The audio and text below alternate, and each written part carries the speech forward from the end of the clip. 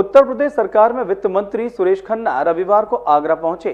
यहाँ पर उन्होंने वित्त विभाग के अधिकारियों के साथ सर्किट हाउस में बैठक कर दिशा निर्देश दिए, जिसके बाद वित्त मंत्री आगरा के सिकंदरा स्थित एक निजी होटल में कार्यक्रम में शिरकत करने भी पहुँचे।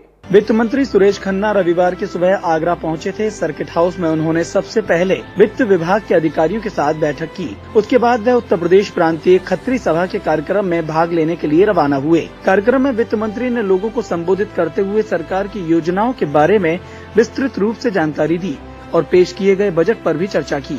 आज तक जितना भी हमारे सामने चाहे वो एंशियन हिस्ट्री हो, चाहे मेडिवल हिस्ट्री हो, चाहे वर्तमान जो हमारे हज़ार, दो हज़ार साल का इतिहास है, उसमें भी ऐसे लोगों को ही याद किया जाता है जिसने हमारे समाज के लिए किसी न किसी रूप में कुछ न कुछ किया।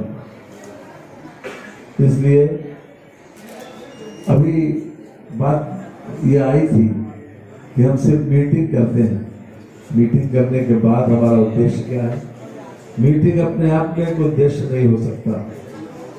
मीटिंग किसी पर्पस के लिए हो, संगठन के लिए हो, समाज को आगे बढ़ाने के लिए हो, ठीक है।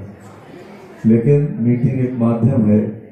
हम एक असेंबली होते हैं, एक दूसरे से विचार शेयर करते हैं। किसी लक्ष्य को लेकर, किसी उद्देश्य को लेकर। और उद्देश्य क्या है? समाज को आगे बढ़ाना, संगठित करना। Bureau report, DG Maharaja news, Agra.